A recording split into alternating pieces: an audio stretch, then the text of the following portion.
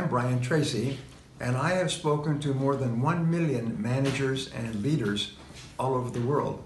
And you are some of the most important people for the future of Russia. Here at this forum, YouLead. You are going to learn some wonderful ideas that can help you to be a better person for the rest of your life.